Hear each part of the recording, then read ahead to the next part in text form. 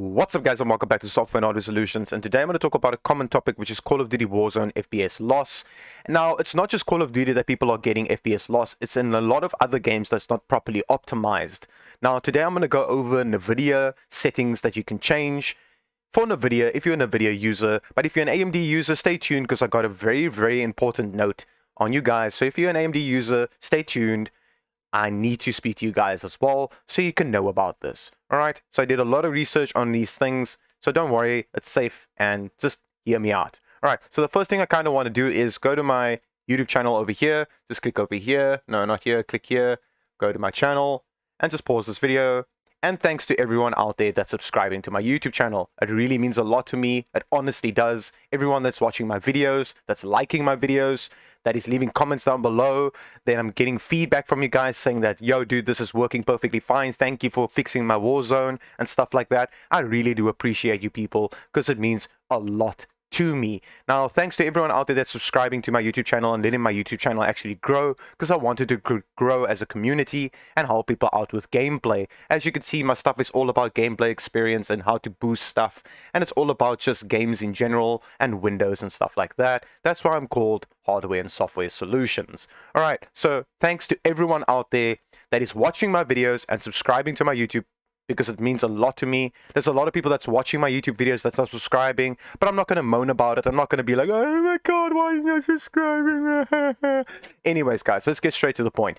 Here we go. So, if you've never heard of MSI Afterburner, I highly recommend downloading MSI Afterburner if you are an NVIDIA user. Alright, if you've never heard of this program, go and download it. I'll leave a link in the description down below of MSI Afterburner, and I'll leave a link in the description down below of a program called Kombustor. You're going to need both these programs to be able to do what I'm going to do today to get more frames out of Warzone, and just in general out of every other game that you are playing. Alright, so I'm going to minimize out of this and show you guys what I'm talking about. Alright, so I'm going to open up my MSI Afterburner, and this is my MSI Afterburner. Now yours is most likely going to look like this. It's going to be like stock settings. It's going to most likely look like this. But it won't look exactly like this because there's a newer version of MSI Afterburner out right now, and I'm going to leave a link in the description down below of it. Now, I do not like the new version of it. It's like me going over from Windows 10 to Windows 11. Now, it's like muscle memory, basically. Now, I like this one. Now, I don't know if you can do it, but I'm very sure that you can go and download the latest version and just change the theme of the latest version to this theme and you'll have the exact same theme as me because there's a lot of themes for this program where you can make it green, red, gray, white, it doesn't matter. You can just change it however you want to. It's your own personal preference. If you're on the newer version, all you can do is do the same tweaks that I'm going to do today. All right, so Kombustor is a very, very um, important program to download and install. Once you install MSI Afterburner in your brand new installer, right? You're a brand new computer user. Let's just say you just bought yourself a gaming PC or you bought yourself a gaming laptop. I highly recommend installing MSI Afterburner and it's going to ask you to install a program called Riva Tuner. Right? I don't know why it's not. There we go. Riva Tuner. Tick on it and make sure you install it as well after you installed MSI Afterburner because I'm going to get to that point just now. All right. Number one is going to be this. Yours is most likely going to be locked where it says power limit and temp limit. Okay, it's going to be locked. If you want to move this, because I'm going to show you why you need to move this, you just go to this little gear icon over here, tick these four boxes over here, and tick where it says start minimize and start with Windows. All right, say apply, say okay, and it's going to ask you to restart MSI Afterburner. Once it's restarted, this is going to be unlocked for you. Because when this is down here, and it shows 65 degrees, right? And then your power limit is on 73, okay? When your graphics card hits 65 degrees, you are going to get FPS loss, meaning your graphics card is going to start throttling when it hits 65 degrees. And I know a lot of people out there hits that 65 degrees on their graphics card. So I highly recommend pulling your power limit all the way to the end and let your graphics card be at 87. So when your graphics card hits 87 degrees, then it will only start throttling. Throttling means when your graphics card gets too hot, you start losing FPS. So I highly recommend putting this on 87 because your graphics card will most likely not hit 87 degrees and that's only when your graphics card will start throttling itself. All right, so don't worry, there is another thing you can do to basically bring your graphics card's temperatures down. If you see this over here where it says fan speed, all you need to do is tick on this box. Yours might most likely say auto. Just click on it and unhighlight it. And then all you need to do is move it to about, let's say 85 degrees or let's say 90 or 100. It's your own personal preference. Now I keep mine on about 90%. So let's just put it on 90 and keep it on 90% and save it. To, to save it, all you need to do is tick on this little box, go to the little save thing. These things are going to flash and you tick on 1, 2, 3, 4, 5 and save it on your own profile. Now, before I'm going to do that, I'm going to show you what I'm talking about because I'm going to talk about doing overclocking. Alright, so I've got an NVIDIA GeForce RTX 2060 OC Gigabyte version. Yes, it's not the best version out there because MSI itself is a way better cooling solution and ROG Strix is a way better cooling solution. But unfortunately, I had a steal deal on my Gigabyte version of my graphics card. So I'm pretty fine with my graphics card that I have. Alright, so let's start doing some overclocking. Alright, okay. So Let's just say you have the exact same graphics card as me, and you got an NVIDIA GeForce RTX 2060 OC Gigabyte version like me, you will be able to most likely overclock more than me or less than me, because it's all about the silicon lottery, and what the silicon lottery means is the chip inside your graphics card could either be really, really good, to be overclocked much more, or it could be really, really bad, and it can't be overclocked much more than what it could okay so i'm going to get to that right now okay so let's start overclocking so i highly recommend doing your core clock changing your core clock from, let's say, 0 to about, let's say 50, okay? Let's hit 50. So you can do this with your keyboard, all right? So just the right key and just do it to 50, or you can move it yourself just like this, all right? So let's just hit that 50 mark, all right? And do an overclock of 50, okay? Just click on the tick, and then you open up Kombustor, all right? So my stable overclock on my graphics card, I saved it over here, which is 1, and I click on the tick, now my fan, as you can see, it's doing 90% of my fan speed, all right? And as you can see, I'm doing 35 degrees. Okay, so I'm going to open up Kombustor, which is the stress test program, move it to the side. Let me just minimize out of this, move it to the side. Don't worry, this is a very, very safe program to use. So don't worry about any blue screen errors or your PC crashing or your PC exploding or your PC just lifting out and walking out your door. Don't worry about it. This program is absolutely fine and it's perfectly fine to use. All right, so if you are a 720p user like a display or a monitor, use these preference. All right, so if you're a 1080p user like most of you will be, go to full screen mode and say run stress test. All right, now the stress test is going to start and it's going to look like this and just click on tessellation times 4. I highly recommend clicking on that so you can do the most FPS that you can do. Alright, so that's my load, that's my FPS, and that's my temperature, 51 degrees. Alright, so I'm going to close out of this, and I'm going to show you guys something that's pretty cool. So I was doing 51 degrees as you just saw there, right? 51, okay? So I'm going to bring this all the way down, tick on it, and do the same stress test, and just show you guys what my temperatures is going to do.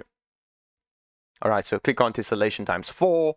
Once you clicked on that, you get the most FPS out of your game, your picture or the stress test program. That's your GPU load, and this is your, your GPU temperature. Now, as you can see, my GPU temperature is going to climb by a lot because my fan curve is put down all the way down. Now, the hotter your GPU gets, the less frames you are going to start doing.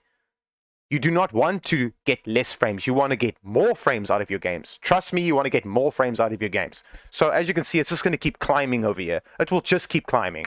So I highly recommend, I'm just going to minimize this, highly recommend putting this on either 100%, so your fans are really, really loud once you're gaming, or you could just put it on 90 like me, and do a 100 overclock and a 100 overclock. But you can play around with this. I'm just going to show you what happens when you do too much overclock and it crashes. Now, I highly recommend using Kombustor because you do not want to run, let's say, start playing a game to test if you're doing more frames and then your game crashes. You want Kombustor to crash, not your games. You want Kombustor to do the crashing. All right, because this is a stress stress program and basically playing games also stresses or puts stress on your graphics card. All right, so I'm going to do this go to Kombustor, right? But let me actually do this and show you guys what I'm talking about when it crashes. So this is my stable overclock and I have it saved over here. So let's push this up, right? Let's do about 150. I'm going to do 150, tick on it. I'm going to go full screen mode. I'm going to go 1080p and I'm going to run the stress test. All right, I'm running the stress test right now and this is how it looks. And there it crashes. It immediately crashes because it immediately crashes because this is the problem. You've done a little bit too much on your overclocking. Now, if there was a small little hiccup, maybe when I was talking, it was my OBS saying that the rendering isn't doing something well, it's because I just basically overclocked my graphics card too much, and that's why that stutter happened. All right, so now you just bring it down. Start bringing it down by a little bit, let's say 30. 30 still doesn't work for me, so I have to keep mine on 100. So I'm going to keep mine on 100 like this, and then save it, and run the stress test again, open up the stress test, minimize out of this website, go over here, and then go to the same thing where it says 1080p, full screen, and say run.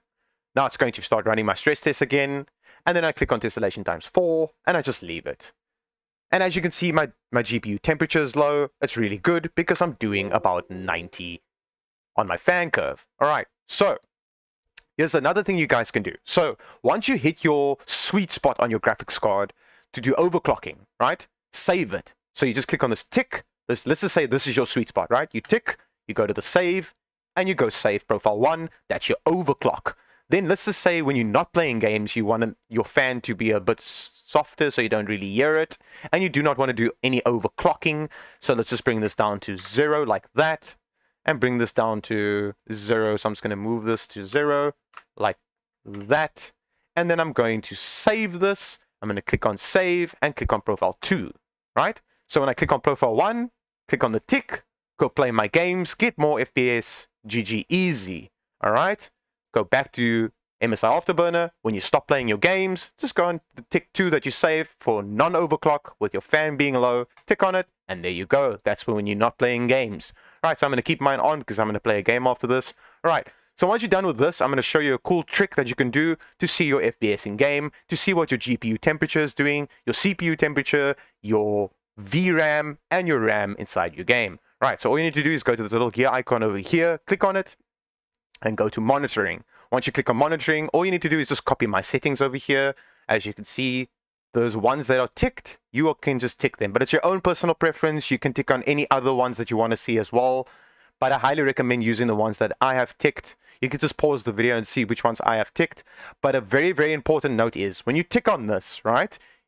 Let's just say I untick it, okay? Then nothing is showing here. You need to tick on it then tick on this box where it says show in on-screen display. Make sure, sure it says text, say apply, say okay. Now you need to do it with every single one of them to be able to see this. Let me just show you guys. So I'm just going to go to a game, just going to scroll down and go to Scarlet Nexus and just show you guys. It will look like this. It will tell you what DirectX your game is running in. Mine's running in DirectX 11 with this game. My RAM usage, my CPU temperature, my VRAM on my graphics card, and my GPU temperature and my GPU load.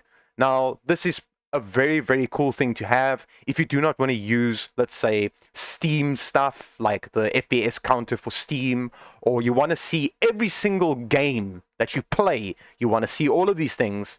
Now, all you need to do is do what I just showed you and just go to this over here, go to monitoring and tick the boxes that I have ticked. I'm just going to slow this a bit down so you guys can pause it and just tick the ones that I have ticked and remember guys, ladies and gentlemen, like I said, after you ticked on one of these boxes, click on this box, make sure it says text, say apply, say okay. Once you're done with that, and there you go. And now you're going to get more FPS out of your game. It doesn't matter if you're a Warzone player, doesn't matter if you, whatever game you are playing, this will give you more FPS by a lot. It can increase it by 20 FPS, 30 FPS, 40 FPS, 50 FPS, a lot. MSI Afterburner is a really good program to use, and I highly recommend using this program. Don't worry, I'm going to leave a link in the description down below of both of the programs I just showed you now, MSI Afterburner and Kombustor.